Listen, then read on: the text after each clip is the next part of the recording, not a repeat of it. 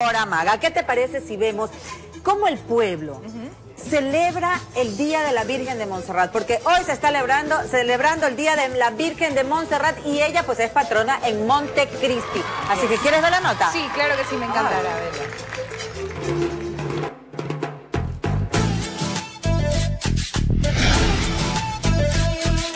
10 de noviembre en adelante, en Montecristi el movimiento es notorio. Llegan comerciantes y turistas de distintas partes a ofertar productos en las principales vías del cantón.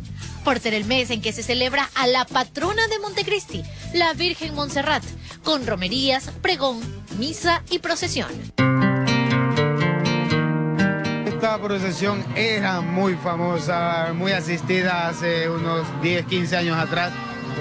Eh, lastimosamente luego perdimos ya la continuidad, no lo organizamos como iglesia, sino que las personas eh, voluntariamente iban caminando sin una organización nuestra.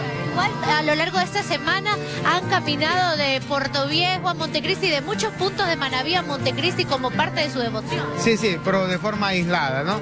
Por eso hemos querido también que al menos desde hace tres años ya, que este tres años, organizarlo como iglesia y tratar de recuperar una tradición que era muy, muy buena aquí en Manaví.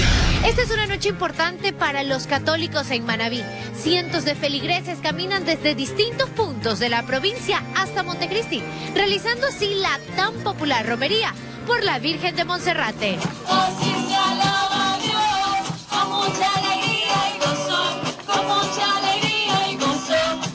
Del Club de la Mañana fue parte de la procesión. Con oraciones y cantos caminamos más de 25 kilómetros de Puerto Viejo a Montecristi, acompañando a quienes con fe pedían ser favorecidos con un milagro en particular.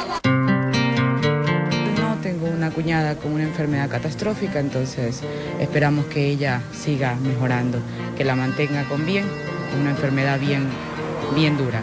Yo tengo seis años caminando pero voy principalmente por, por amor a Dios y por la Virgen, porque la Virgen es muy milagrosa. ¿Para qué? Gracias milagros? Sí, porque yo sufro muy de la garganta y gracias a ella estoy viva.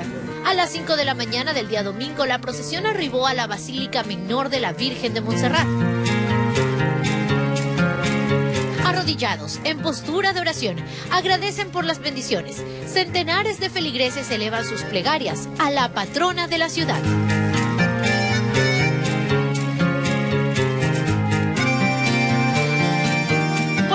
Días en el cantón usted también podrá disfrutar de los deliciosos y famosos empolvados, los dulces típicos de Montecristi, que se ubican estratégicamente al pie de la iglesia.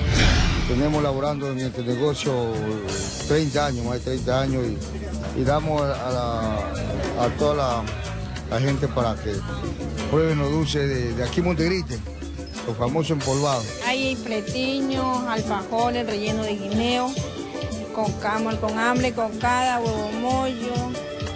Este, sí, todo eso.